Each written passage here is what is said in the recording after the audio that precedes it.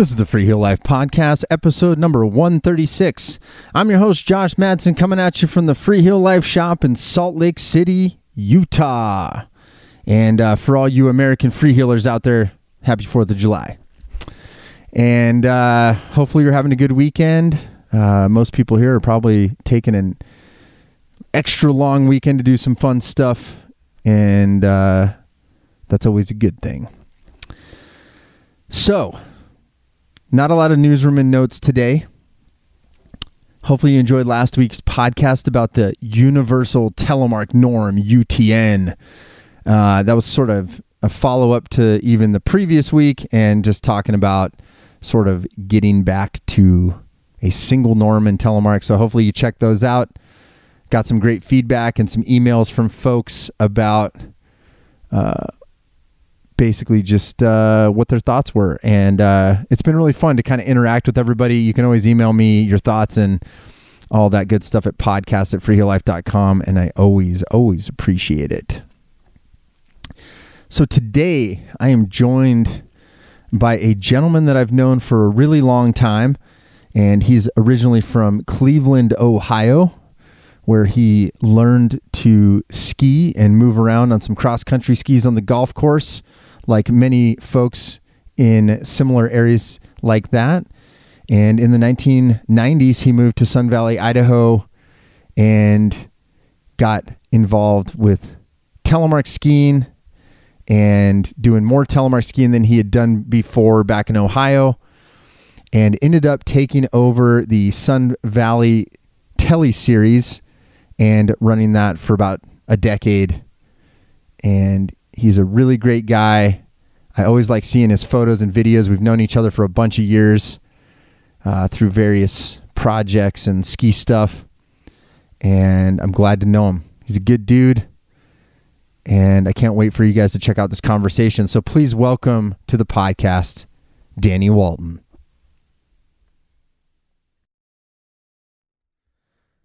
All right, Danny, how's it going, man? Welcome to the podcast. Great, Josh. Good to be on. Stoked to finally get you, man. I feel like uh, we, we've we've sort of gone back and forth on social a little bit over uh, since I started this, and I'm always like, I need to get you on here, and uh, I think I pre I, I I got the newer Sun Valley guys on, which was a good catalyst because you're uh, you're sort of the missing piece in, in between a lot of that. So yeah, good good guys. That was a great episode. Oh, I'm glad you got to check it out, man. That's awesome. Um, and uh, so you're, I I, I kind of want to start, um, just kind of basics, you know, like where you're from, like. I, you know, we've known each other for a lot of years, but I don't even know if I know the whole history. And that's always where I always like to know, like, where where did people come from? Where did you grow up? Where did skiing come into the mix? All that kind of stuff. So wh- I guess start us off like where where did you grow up? So uh, I was born and raised in Cleveland, Ohio, and um, right where I lived there was a golf course that was real hilly, and my mom taught all five of us kids how to ski, and then that's something I could do after school. I could go cross country, and then I'd go go to the little small little rope tow hills on the weekends and learned how to alpine ski. But I remember seeing a couple telemark skiers, and so I started working, teaching myself how to make the turns on the golf course, making you know six turns at a time, and then I'd lap it and go around all the different tour around, and just hit all the different hills and just see how I could work in telemark turns. Wow! And you know that little love of the of doing that every day and let the dog run and just kind of being out in nature just kind of set me up. And from there, you know, I had good friends that had a place up in New York. So we pretty much kind of cut my teeth in Western New York at Holiday Valley. And I was alpine skiing, and that's kind of started more the transition. I got some real telemark gear because I taught myself how on, on the old classics like no wax um, kind of skis. What is it? Track. Oh, track yeah. skis with three pins. So that's how I taught myself how to tele. And then I got some some little little Karhu and some solo leather boots. And then I went remember taking them to the lift over at Holiday Valley for the first time. And um, years later, I was ready to take the move to Sun Valley, where my friends that I grew up skiing with in New York, they moved there. So I followed them and moved out with a pair of cross country skis and the telemark skis and got a job teaching alpine and did that for a few years and then kind of just transferred back to just full telemark and uh, no looking back. Wow, that's awesome. 25 years, 25 years from one year to be a ski bum turned into 25 at Sun Valley. I love that. I love how many people I've had on the podcast that are from the Midwest and then you come, you know, you come out to the Rockies and yeah, like you said, it's like I was coming out for a year and it's like 25 years later, I'm still here. oh, yeah, a couple awesome. thousand days on on Bald Mountain. Man, I'm pretty pretty lucky. Pretty pretty sweet hill. That's amazing. Uh, yeah, I didn't. Re- I, I, guess I didn't. I, I wasn't. I'm not sure if I knew you started at Holiday Valley, which is I, that's actually a good stronghold for Telemark, HoliMont, Holiday Valley in Western New York. But uh, um, do you remember seeing a lot of telemarkers when you, like, when you started going there? Yeah, you know, you'd see kind of like the handful of like kind of hippie guys, you know, and that was kind of caught my eye. And you know, I was back in the back in the day of doing like Daffy's and just skiing bumps and watching the Greg Stump movies. So that's the time frame and then uh, yeah, taking riding the Tannenbaum lift for the first time with the tele gear and pretty pretty cool little woodsy kind of area. Yeah, that's so. a little bit of a haul from Cleveland too, I guess, because Cleveland. Uh, hopefully, I'm getting my geography right. You're right next to Erie, right? PA. Yep. Got it. Cold. Yeah, Erie's the halfway point, so it's about. I guess it was like two and a half hours for us. Okay, that's not too bad. That's not too bad. Well, let, so what what year did you end up in in Sun Valley then? 97. Got it. Okay, cool. Yeah, so I mean, was it kind of I'm trying to remember like that's the year I graduated high school, you know, and I don't I I don't remember hearing a lot about Sun Valley. I mean, what was what was that area like in in the late 90s? Was it pretty hopping or was it kind of a sleepier town? You know, it, I think it's a little sleepier now. But um, yeah, no, it had it had it was it was pretty vibrant in the '90s, and they had the Telemark series was um, was was in full force. You know, Sun Valley had uh, a continuous. I, I, guess their claim to fame was the longest continuous run series because there are events every month, and so I I got kind of roped in like, hey, why don't you check this out? And um, back then you could sponsor somebody and bring them in. you had to be like tapped by by the no, old no, guard not, or something. Not quite, but like, let's say, all right, I'm going to sponsor Josh, and so then like I got your, you know, your mission, and then mine was like for free or something. Or oh, some, I get like you. I get you. Just to bring new people in. That that makes a lot more sense. I thought you were saying like you had to like prospect or something like a motor no, like no, a motorcycle no. gang. no, it was like how can we get more people out here and all right, we'll just sponsor them, bring them out, you know. So you showed up with tele gear in when you moved there and then you find out that there's this long running telemark series already going on? Yeah. So I was alpining a lot and then bring bringing, you know, working them into the mix and um yeah, 203 like K2 KVC or something. Just big old long stiff skis. So with 3200 feet of vert. Jeez.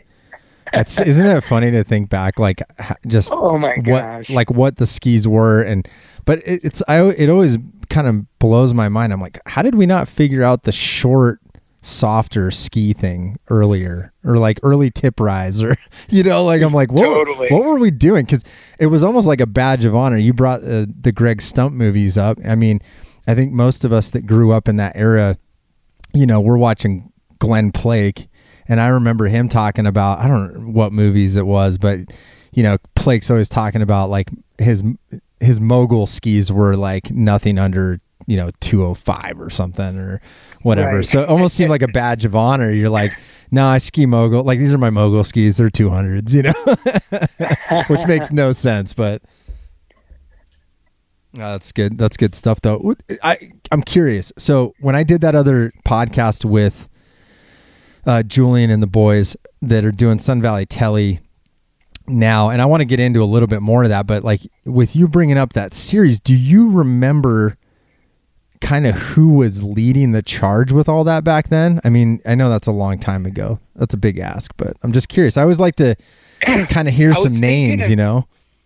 You know, um, I I remember meeting because I I did it I think for ten or twelve years, and all the a lot of random old people would come out of the woodwork and introduce themselves and be like, "Hey, I did this from like '84 to '88," or you know, and um, I'm forgetting some of their names, but um, you know, it was really big uh, with Mike Kranick when he ran it, and then um, it kind of got passed on a couple times after him, and then it kind of fell into the hands of um, one of the shops that sold the gear.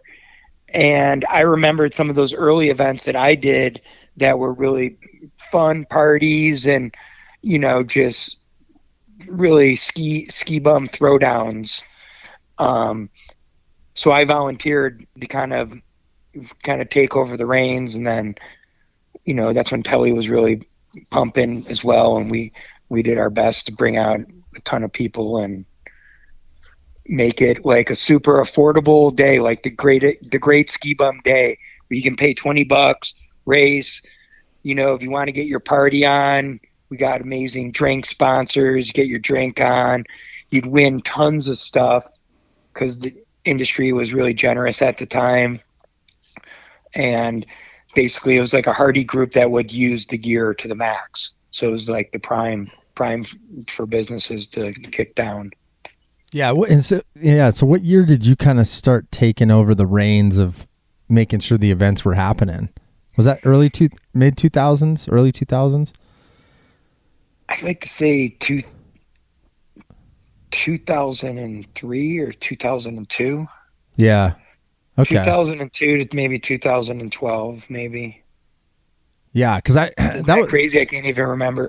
I was just gonna say it was a good drink sponsor a couple years there or something. Oh, no, I'm just teasing.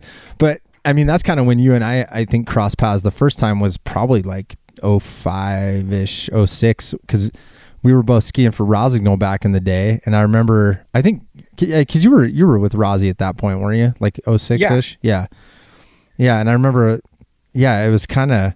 It's funny to think because even at that time, those were like. I still felt like I would meet people. It wasn't like the inter. I wasn't like looking up events on the internet to go to or anything like that. It was like I'd meet you and you're like, yeah, I got this Sun Valley Hawaiian Nationals thing, and I'm like, oh wow, there's like a scene up there. I had no idea. So, um, but that's what you were saying. I mean, like it was it it was different back then. Like the company support, you know, like people were throwing down to like throw of telemark events back then, right? the Hawaiian Nationals was the biggest event the race department would do that every year. so we, we would get close to like 200 people Wow. And then have bands on flatbeds and have like four or five kegs and, you know, have a big barbecue and feed everybody. And then just have this sick raffle and right at the base of the, right at the base of the hill. So it's just really, the weather is usually nice. So pretty, pretty killer. That's so awesome. That's so cool. Yeah, and so you said like 10 years you ran it? Yeah. Wow. That's a lot of work, bro. And I remember it cuz at one point didn't you start like doing a reggae festival too or something? Yeah. So I, I used to do these events. Um, it was called um, Marley in the Mountains, and then it changed to Reggae in the Mountains. And so it was the greatest show on snow because it would be in the winter celebrating um, Bob Marley's birthday. Oh. And the original roots, how that came about, was a ski race I used to do as part of the Telemark series called Bob Marley Day. And it was right around Bob's birthday, the first weekend in February. And we used to have it at Soldier Mountain. and um, it was an all-terrain top to bottom race, and they would pump out like ten thousand watts of reggae, and I'd have like I'd bring in like reggae DJs, so they'd be spinning at Soldier, and you would be like riding any chair, and you would just like hear like bumping roots reggae. Really, all day? yeah, Oh my gosh, that's awesome. that was that was when Bruce Willis owned it, Yep. and they were just like, they're like, we got a big sound, we got a big sound system. Let's pump some music. That's so, like anything we wanted, they were like, sure, go for it. I brought. That's funny you brought Bruce Willis because I think I asked the guys that on that last podcast, and I mean, did you ever meet him at Soldier? Like, was he ever skiing there? You know, I never met him. I ended up cat skiing, uh, guiding there for a number of years um, after that, and um, but I never met him. So I just always I, I love like random little tidbits like that. It's so funny. It's like in this little hill. I mean, because Soldier's like how many? Is, is it only one lift or a couple no, lifts? there's there's two lifts, Two lifts. maybe maybe a couple thousand vert. I think that makes the best telly festivals Uh. like that though, because like it's because like you said, you literally can like have everybody there at once. I mean, you take over the sound system. I just always feel like those are more interesting. Like you're able to do a lot more because there's not as much red tape, you know, in most times. So Yeah, and just think of like kind of the old school like A-frame kind of ski lodge with the bar upstairs and with the you know the old kind of picture like the old school kind of like what's his name Shapiro the photographers oh, the guy, uh, yeah, Mark Shapiro. yeah like one of his photos it was like a classic look like that I know. I wonder. I wonder. I don't know. The maybe that I, I I just wonder how long all of those types of places will be around because there is kind of this like iconic stuff like that. You know, you those mom and pop resorts that you can still find that have that vibe. I just think are so cool. You know, it's like yeah, like you said, the A frames. The funky little bar, you know, everything's like wood. There's probably some animal heads on the on the wall, you know, like totally oh, that's rad, man. I didn't even realize they had cat skiing too. Because you, were you? uh Was it just like a was it a backcountry sort of cat thing or sort of just side country? No, so it was it was behind the resort. You can also like tour. You can get off the second chair and just go back and tour into this zone. But um, yeah, I think we had twenty five hundred foot shots, just really pristine Idaho backcountry.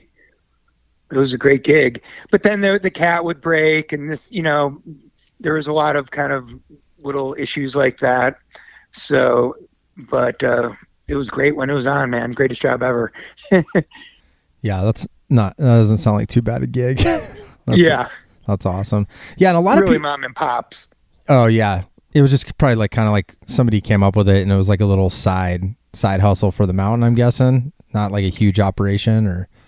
It wasn't a huge operation, but the guy um, I worked under was over in La Grave for like 15 years, and he he came kind of back, and so I, I was working under this great, great, great guy who taught me tons and really good dude, Gary Ashurst. Huh. So, yeah, pretty, pr- pretty neat. Now, now they're kind of trying to maximize it more, and some new people running it and owning it, and so that's kind of where that ended. yeah. Well, and a lot of, you know, I think you were one of the first people that sort of, um, although I have not skied up there, um, you were one of the first people I remember sort of hearing about the Sawtooth Mountains, you know, which is really your zone, right? Like, I mean, the backcountry there, you're, you can access a lot of that stuff. And you were one of the first guys I think it kind of told me about that. I mean, you, Yeah. you still spend a bunch of time up there, don't you? You know, a little bit less the last few years now that I have the family, but Yeah. um, yeah, it's there's a lifetime of skiing up there. It's tons on the tick list still. Just um, went paddleboarding down the river and just got to just have some prime views of like, wow, I haven't even been into a lot of these zones. so I was doing some good scoping last weekend. Um, but yeah, it's it's kind of gotten a little bit more on the radar, but it was pretty special place. Yeah, I thought about that when I asked you. I'm like, I'm totally going to be the podcast where people are like, dude, quit blowing our spots up. it's hard because I mean, some of these places like like where people didn't used to go, you're starting to see more, you know, more traffic. You know, there's people poking around more spots, and I'm sure you guys are seeing that up your way too. Yeah, you know, it's it's it's a lot different rolling up to just seeing cars parked where you never would ever see cars parked. yeah. when you mentioned the paddleboarding, that's another funny thing. Like I thought I thought about that before we hopped on. I actually saw your Instagram the other day and I was like, "Oh, he's still out there paddleboarding." I remember you being like one of the first dudes that was like doing that on the rivers. I swear, dude. I I remember being like, "What is? What are you like? What is?" Because I knew you from telemark skiing, and then you're like, "Oh, dude, the paddleboarding, and I'm going down the rivers," and I was like, "What?" I'm like, I didn't even know what it was, you know. And you were out like cruising around in the backcountry rivers and stuff. So. Oh, dude, I'm I'm totally addicted.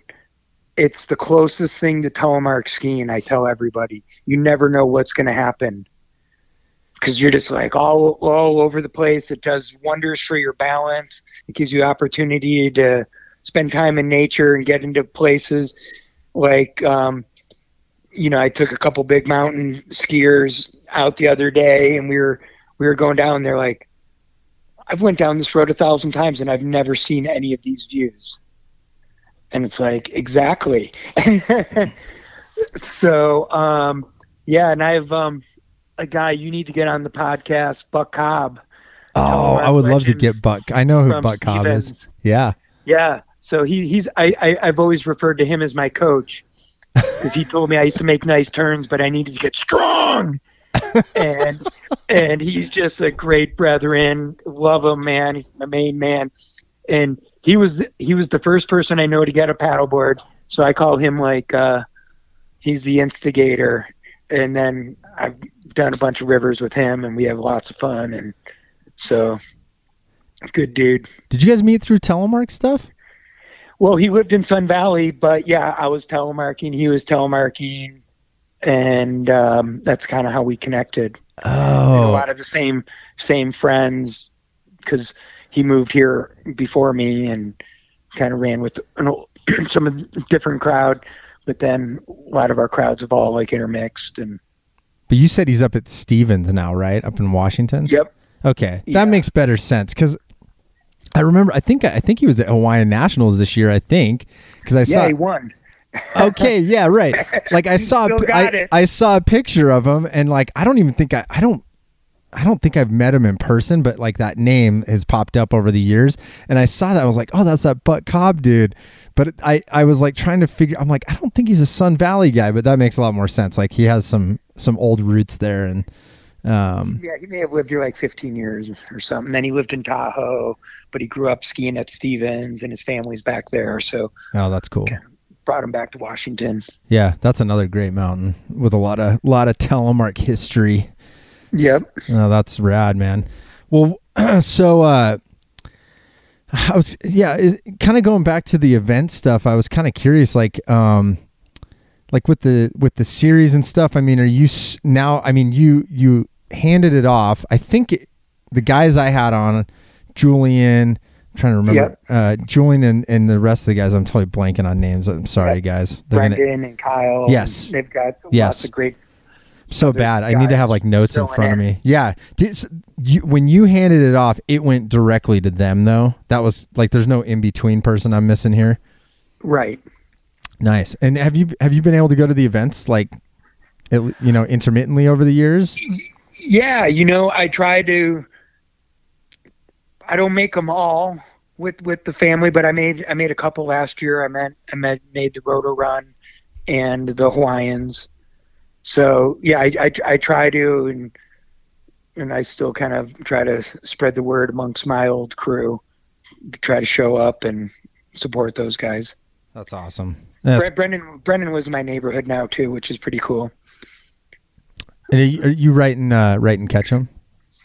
So after 20 years, I moved 15 miles south. I was in Ketchum for 20 years. Now we live in Bellevue. Oh, cool! And it's a cool little cool little spot. Um, it's not doesn't have like the resort feel, which is kind of cool. It's kind of like a small Idaho town, but um, you know, I'm 15 minutes, 15 miles from the hill. Yeah, that's And lots of cool nothing. backcountry out all the canyons. Yeah, that's that's nothing. Fifteen minutes. Yeah. I at first I was because I used to, you know, my old spot where you'd stay at on the film tour, you could walk to the chair. So I was pretty spoiled for a lot of, you know, a decade. yeah. so I was like, oh my god, it's so far. I was like, you know what? I'm still closer than like 95% of the world to skiing. I know. Yeah, I know. It's funny when you said like two and a half hours from Cleveland to go skiing. I was like, I, honestly, that's like normal for a lot of folks. You know. with traffic. Yeah, wi- yeah, with traffic. Yeah, exactly. And and then you get there and it's like raining or something. so, Yeah. oh, that's crazy. Well, that's uh, it's so cool that yeah, you put so much time and kind of kept that thing going and um, you know, and and one of the things I like, I still follow. If anybody follows you on Instagram, I mean, you're still out there getting it, man. I mean, um, I mean, you're still shooting photos here and there with people. I think, right? Like, uh, yeah, I, I get out just a couple times a year, not like I used to, but um, dude, I just love the turn.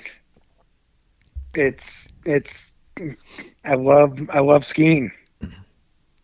Well, and you do a good job. That's what I've always loved. You're one of you're one of those guys that's good at showing it too.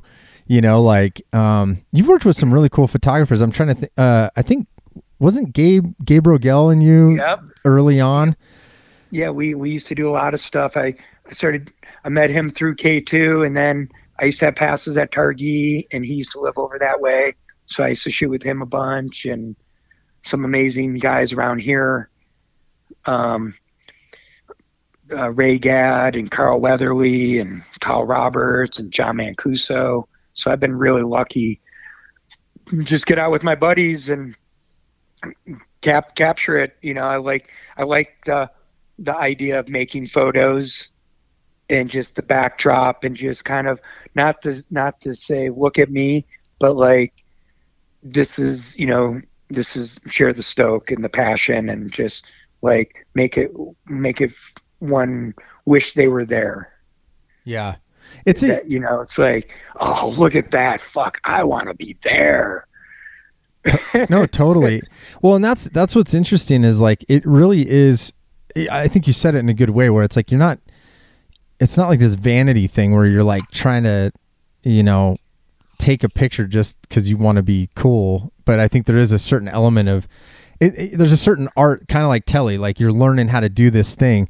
I think getting out with a good friend that shoots photos is also kind of fun in a way too, because you're sort of documenting the movement and and uh, and that's why I think I I mean I always think every time I see photos of you, I'm always like you know it, it's a really good way of like depicting the turn, like you're saying, you know, like it stokes me out. I'm like, oh, there's Danny, you know, getting after it, and uh, yeah, it's a you know I I don't know like do you have you always liked that because I mean you were you used to shoot a lot of photos back in the day, you know.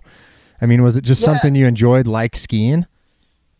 Yeah, I love looking at the mountain and just kind of, you know, figuring out the way, you know, the safety, how we're going to tour it. But like, oh yeah, this could be like a really cool shot because that, you know, I've never seen something like that for the backdrop or something like that. And, um, you know, getting getting the opportunity to work with some amazing companies, and that was kind of part of the deal as well. So, kind of not just taking the gear, but kind of being proactive about it and then that kind of turned into you know being lucky enough to appear in lots of different magazines which and ad campaigns so who would have thought you know self-taught skier from cleveland would be like getting in these so that kind of fueled my stoke as well For sure. I mean, Yeah. that, it, I mean, nothing wrong with being stoked about that. I mean, that is a that is a cool story. Um, I you know I realize I, you you brought the K two thing up. When did because I like I mentioned before, you and I kind of met via the Rossignol stuff, early two thousands. Was it after that that you kind of started hooking up with K two on some stuff?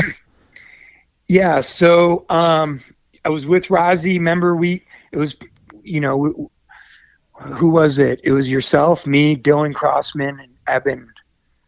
Got the back covers of of Backcountry. Oh, dude, I totally remember that. Yep. And that was pretty cool. Instead of just using the one, they they they showcase all of us, which Yep. was really rad.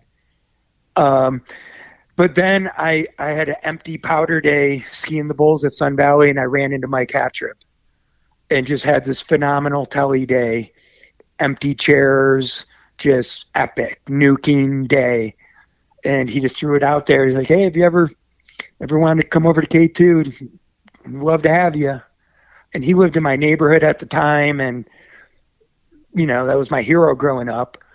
And so all of a sudden, it was like, "Holy shit!" You know, Rossi was was great to us, and but um, it was a good opportunity to go to K two, and then got to meet with Gabe and do photo shoots, and got to ski in the Sawtooths with Andrew McLean and Luke Miller and some other great folks. So um, yeah, just kind of opened up a couple more doors, and just having Mike in town really help that, you know, kind of help for nudge me along for being, you know, a telemark guy, but yet giving giving me pretty cool opportunities.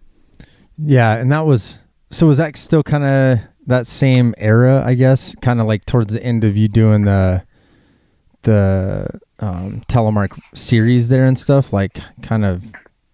Let's see. I don't even know. What'd you say? You went to like 2010 or 2012 or something with that. So you were doing K, Yeah, was- K2 at the end of that. Let's see, I I think K two came on around like 2006. Oh yeah, okay, yeah, that makes sense. So I mean, it was still K, so 2006 K two telemark was still a thing. Yeah, and then Mike was developing the backside line, and then he put me in some of those ads, which was really amazing. And Gabe Gabe's photos, and um, yeah, I was I was just kind of yeah focusing on that, and that's when I was cat skiing, guiding, and um, during that time as well. So Yeah, I love that, man. What it's cool talking to you about this because I think back and and that really was just like a really cool time for telemark. You know, like there was a lot of stuff going on. You know, there was there was a lot of momentum in a lot of areas that maybe we don't see as much now. Um, I mean, I think I think we're in a really good place now, but kind of like in a different way. That was like kind of a the K2 telemark, the Rossignol telemark, like all these brands sort of had stuff going on. And uh and man, for you to get to work with Hattrup, also one of my my heroes. Hopefully one of these days I'll track him down and get him on the podcast cuz he's uh a missing link in the evolution of of talking about this stuff.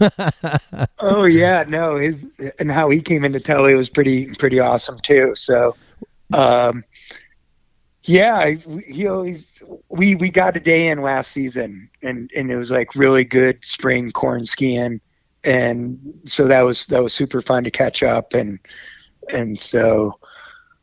You know, I was joking with him that it's never been a better time to be a telemark skier because my gear right now is just so phenomenal and I'm so happy with it. And I got a sweet quiver. it's just like, dude, you got to come back. He's like, you make it look good, but I'm not coming back. I bet I bet we could drag him back. That would how how cool would that be if we could actually get get him out on a pair of pins these days? That'd be pretty sweet. Well, you know who I did get the chance to do that to was was Blake when he was hosting his Real Thrills uh, RSN show. He came in. I got him to come to host his show at the Hawaiian Nationals, and uh, we had this great ski bum house, and everybody tellied there. And he walked in, and there's this like everybody had like three pairs of skis or some. So there's like all these ski telly skis, and he's like, "Oh gosh, look at those skis, man!" Like I gotta go telly. I was like, "What size is your boot?" You know, and so like I gave him boots and he took out like a pair of like race stock K2 skis that had telly bindings on them. He's like, "Oh, those are the ones I want." I'm like nice and stiff, and, uh, and took them up and rocked it in tandem. And um, one of the coolest thing he brought to the Hawaiian Nationals was the human slalom, the telly parade. He's the one who got that started? He that was one of his additions when I was running it. He that was something he was at. He was like, "Oh, we got to do a human slalom," and everybody was up on the hill together, and they were filming it. Whoa. Um, And so, but then it was from top to bottom. So talk about making like 3,000 telemark turns. Like people's legs were just burnt. Oh, so now they do it a little bit lower. But yeah, and then there was like a cat track and people were like throwing helis and spread eagles. And it was pretty classic. wow, that's cool. So was was I'm curious how how was he? Did he make telemark turns like you saw Oh, him? yeah, he's he, he just crushed it. Of course. Like, yeah. Like I like I should even ask that question. Like and- and- so yeah, that was that was that was pretty that was a pretty good time. That's one of the things I've always really respected about Blake. I mean, as a young guy, you know, again, Greg Stump movies, huge, huge influence on me as a kid. Um, you know, and he was just so radical, you know, back then, you know, the Mohawk and just everything. But one of the things is it's been cool following him over the years is he he is a true skier skier, you know, like he's very in tune with the history and the different types of skiing and like he's very familiar with like old tricks and new tricks and like I've always thought that's so cool about him. So that's that's fun. I, I don't know if I've ever heard anybody else tell me a story about him getting on telemark gear. So that's kind of a cool little Yeah, Tidbit. some uh, some red T races because that was like when he was doing like Scarpas. I was like, I got some shells. You got liners? Oh yeah, you know, and wow. Yeah, and some old K two mocks, like old little race room skis. Wow, that's cool. Well, well, that's cool. Uh, that's in in a little bit of uh, Sun Valley Telly history. The the slalom being a Glen Plake suggestion. I like it. Yeah, and he did the tandem as well. Oh, that's what you meant, like tandem skis. No, no, no, no. He did. Um, he jumped on a pair of tandems because there was a tandem division of the part of the Hawaiians. Are you talking about like one pair of skis for two people? Yeah, Who? Uh, the, I forget who went with him. It might have been Buck. I'm not. I I, I forget. we're gonna need to get old Buck Cobb on here and verify some uh, verify some, verify some factual information here. Yeah. But if Buck listens to this podcast, he's probably like, "How the hell did I get on these guys talking about me all the time?" He's a legend. oh, that's funny. That's great.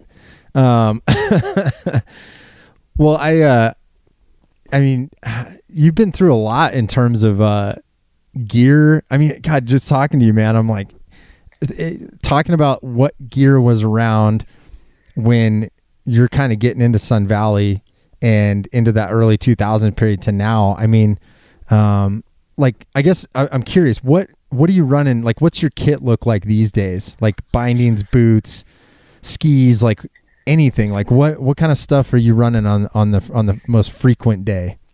So I'm I'm I'm really blessed to still work work with some companies as ambassador. So um, I'm I'm with the the M equipment, which I've been totally blown away by, and it's been the most durable binding that's held up for me that I've ever had.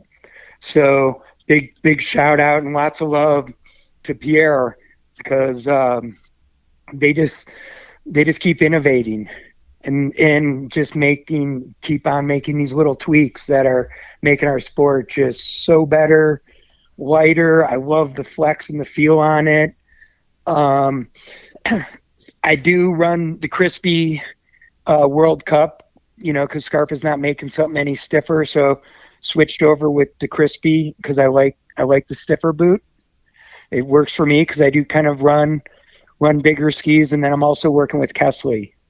Um, so those skis, you know, got got me covered from a sweet touring, lightweight touring, then add add Meidjo and super light but sweet.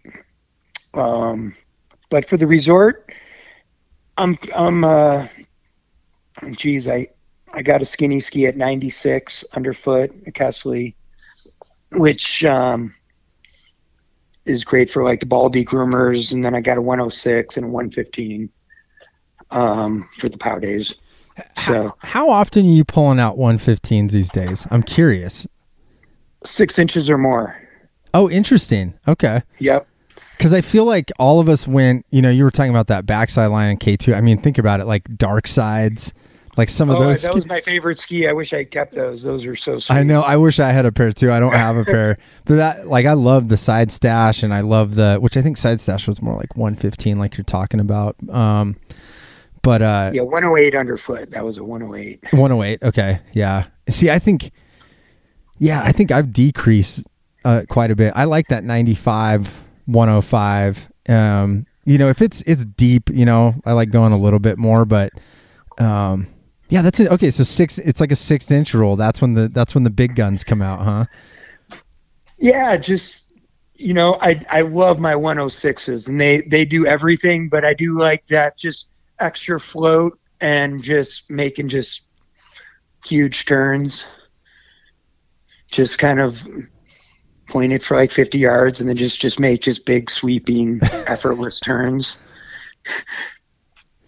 Yeah, I, I it it seems like no, no. I'm just imagining because it, and that's uh, it's almost like the gear, like that 115 sort of seems like that is the big gun, and that's why I was saying the dark side. I mean, some of these skis were just so fat, you know, like you don't really see that quite as much. I think we were all just like.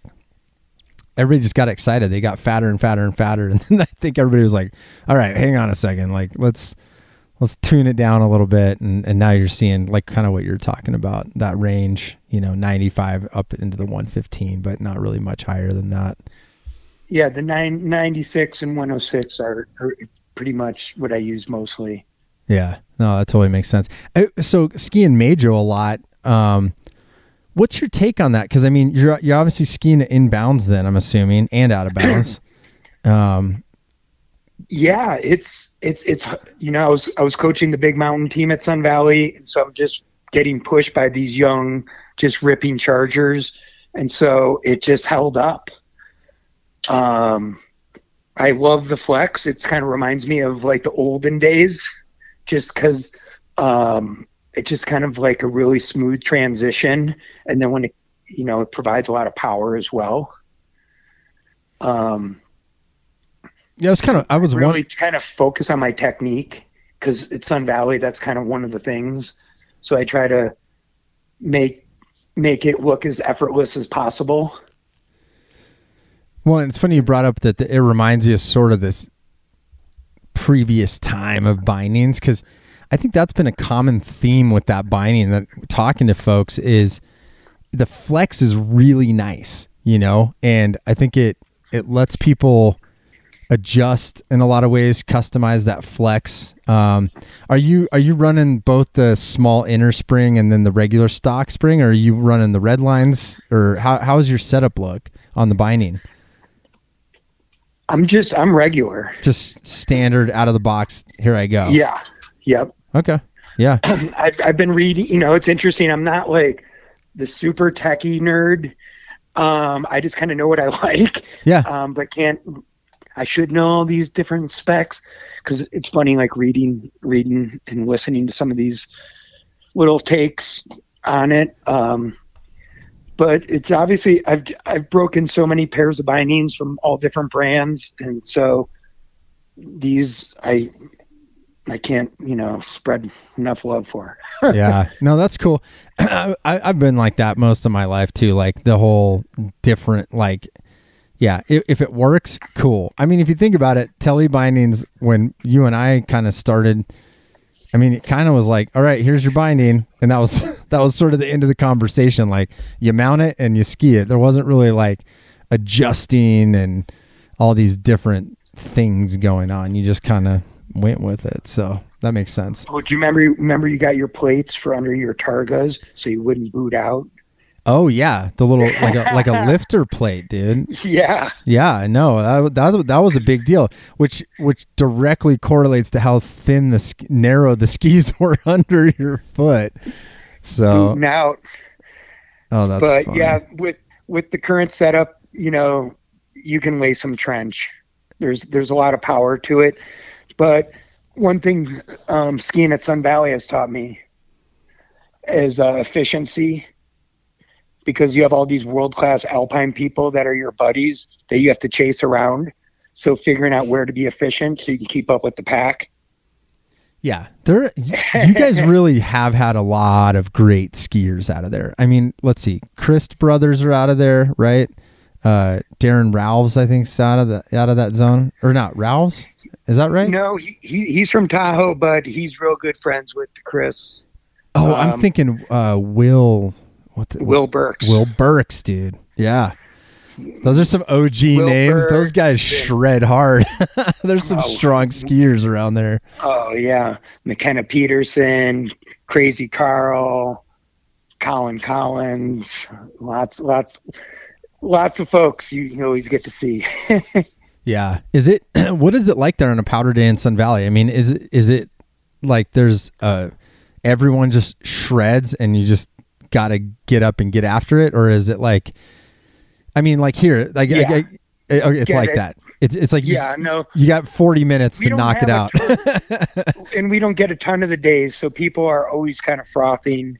So you appreciate what you get. You know, we don't might not get as much snow as all these other places, but day in day out, it's a really sweet place to ski. yeah. So when it does, you know, people have their spots and you know, you go full throttle and you know, but you can also still find your spots days after the storm. You can still do that. Yeah. Like if you know where you're going, there's still little pockets and stuff. Yep, in little side country and great touring and like the old Burn area and but also they opened a new a new lift. And it was kind of lower in the mountain and I was kind of thinking why did they put a lift there? And oh we're never going to get to ski that. Well last year we got to ski it and it has just really nice long sustained pitches for like a 5 minute walk. Hmm. yeah. So we got it for like a month and then it, you know didn't ski it much after that but it was it was on i believe i'm a believer now oh man. Well, that's uh that's good, man. Well, so uh I guess moving I know it's I know it's the the dead of summer, but uh you got any fun plans for uh next winter?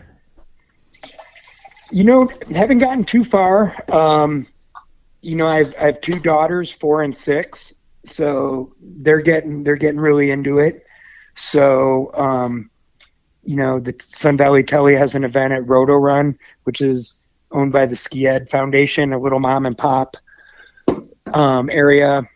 So we ski there a ton. It's just one Poma lift. Goes up like 800 feet.